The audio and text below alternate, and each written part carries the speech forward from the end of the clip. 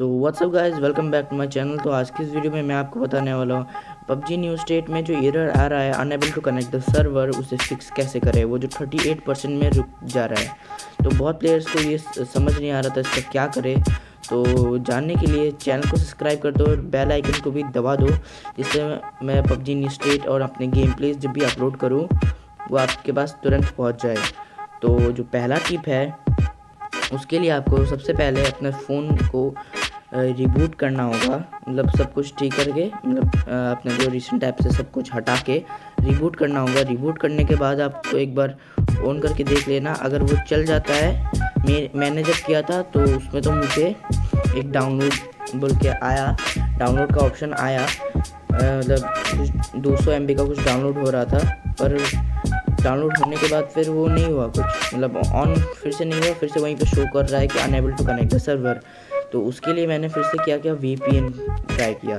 तो मैं आपको दिखाता हूँ कि मैंने कैसे किया। तो गाइज़ आप देख सकते हैं मैं अपने फ़ोन की स्क्रीन में आ चुका हूँ। और यहाँ पे मैं जब ऑन करता हूँ अपना गेम तो देख सकते हैं क्या होता है। तो देख सकते हैं यहाँ पे फिर से वो अलर्ट आ चुका है। मैं फिर से कंफर्म कर देता हूँ। फिर से ये बाद में फिर से आ जाएगा। अब देखिए।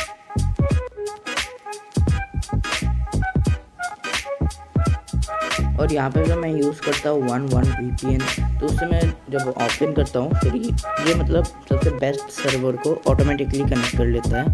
पहले जब पब तो मैं इसी से खेलता था। तो यहाँ पे जब मैं पूरा कट कर दिया कट करने के बाद मैं फिर से ऑन करता हूँ।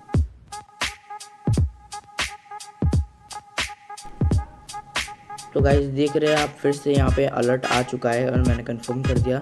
पर यहाँ पे वीपीएन जो ट्रिक है, ये मेरे फ्रेंड्स का जो है, वो काम अच्छे से कर गया और उनका जो है गेम ऑन हो गया और वो रॉयल पास भी अलग से चेक कर रहे हैं। सो गाइज़ मुझे जहाँ तक लगता है, ये सर्वर ग्लिच एक दिन तक तो रहेगा और तब तक आप बी में खेल सकते हो।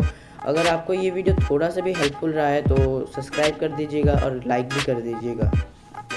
और आपके अगर कोई भी फ्रेंड्स ये गेम खेलना चाहता हो तो उससे भी ये वीडियो शेयर कर दीजिएगा।